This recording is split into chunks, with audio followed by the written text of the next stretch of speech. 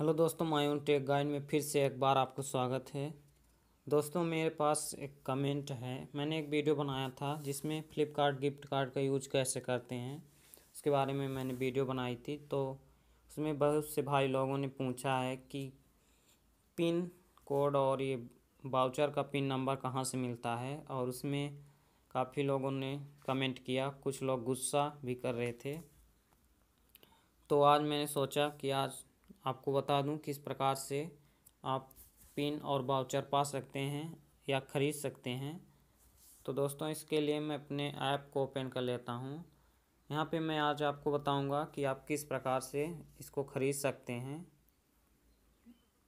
इससे पहले मैं आपको बता दूँ कि यहाँ आपको ख़रीदने के लिए पैसे देने होंगे। ये गिफ्ट कार्ड से आप शॉपिंग कर सकते हैं, आप सभी जानते ही होंगे। यहाँ पे मैं अकाउंट में चला जाता हूँ और इसके बाद यहाँ पे गिफ्ट कार्ड का ऑप्शन मिल जाएगा।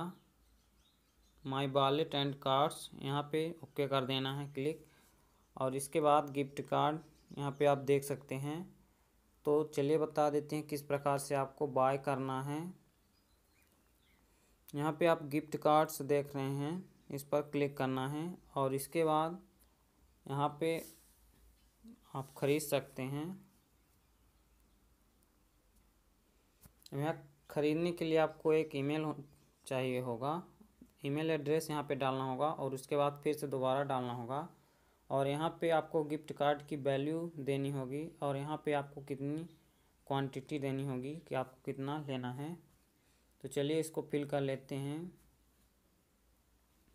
तो यहाँ सबसे पहले अपने ईमेल, जिसको भी आपको भेजना हो या अपने ईमेल में करना हो तो अपने मोबाइल में कर सकते हैं। यहाँ पे मैं डाल लेता हूँ और इसी को कॉपी करके फिर से पेस्ट कर देना है। और यहाँ पे गिफ्ट कार्ड की वैल्यू में सबसे कम कर देता हूँ। आपको एग्जांपल के लिए मैं दिखा रहा हूँ। और यहाँ पे आपको एक कर देना है जितना आपको लेना हो।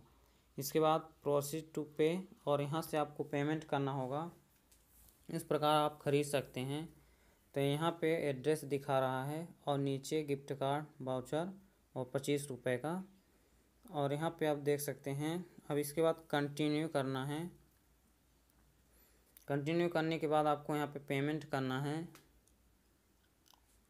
और यहाँ पे पेमेंट करके आप इसको ख़रीद सकते हैं। तो चलिए मैं पेमेंट कर लेता हूँ। अब यहाँ पे मैं क्रेडिट कार्ड डेबिट कार्ड या एटीएम कार्ड पर क्लिक कर लेता हूँ। और यहाँ पे आप फ़ोन पे या फिर नेट बैंकिंग से भी कर सकते हैं। और इसके बाद कंटिन्यू पर क्लिक करना है। और इसके बाद यहाँ पे कार्ड नंबर डालना है। तो यहाँ पे चलिए मैं डाल लेता हूँ।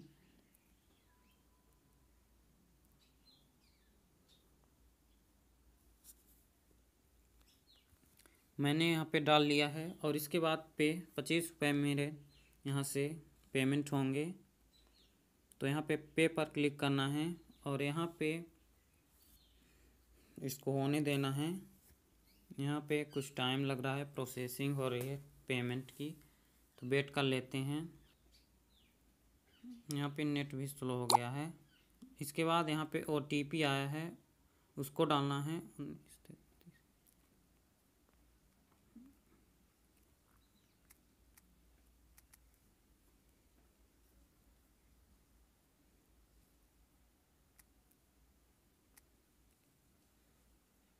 इसके बाद सबमिट पर क्लिक करना है।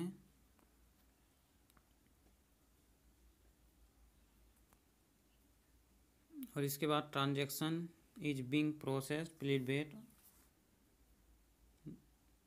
अब मेरा पेमेंट हो चुका है और मैं आपको यहाँ पे दिखा दूँ, मेरा माई आर्डर्स पे जाना है और यहाँ पे आप देख सकते हैं, ये आपका गिफ्ट कार्ड बाउचर का पेमेंट यहाँ पे आर्डर पेंडिंग पर है, इसमें आधा घंटा से नब्बे मिनट तक लगता है और इसके बाद ये कंफर्म हो जाएगा। इसके बाद आपको एक ईमेल आएगा। तो चलिए वेट कर लेते हैं। तो दोस्तों, मेरे पास वो ईमेल आ चुका है और यहाँ पे मैसेज भी आ चुका है। तो चलिए मैं आपको दिखा देता हूँ। अब आपको किस प्रकार से अपने फ्लिपकार्ट में जोड़ना है, ऐड करना है अपने गिफ्ट कार्ड को। तो यहाँ पे आप मैसेज दे सकते हैं। और यहाँ पे बी हैव रिसीवेड और यहाँ पे आप नीचे देख सकते हैं, मेरा गिफ्ट कार्ड आ चुका है और यहाँ पे गिफ्ट कार्ड डिटेल दिखाई दे रहा होगा। तो यहाँ पे आईडी और पिन और यहाँ पे वैल्यू दिखाई दे रही है। तो यहाँ से आपको सीधे आईडी को कॉपी कर लेना है और इसके बाद आपको अपने फ्लिपकार्ट के ऐप में जाना है। और यहाँ से फिर से आपको गिफ्ट कार्ड में जाना है। या फिर आप माई अकाउंट पर जा सकते हैं और माई अकाउंट पर जाने के बाद वहाँ पे आपको ऐड करना है। और दोस्तों, इस प्रकार आप अपना गिफ्ट कार्ड का आईडी और पिन पा सकते हैं। तो यहाँ पे आप देख सकते हैं माई वॉलेट एंड कार्ड्स है, यहाँ पे क्लिक कर देना है। और यहाँ पे एड गिफ्ट कार्ड लिखा है, इस पर क्लिक करना है। और यहाँ पे गिफ्ट कार्ड नंबर डालना है। जो कि वहाँ से हमने कॉपी किया था और फिर से आपको गिफ्ट कार्ड पिन लेना होगा।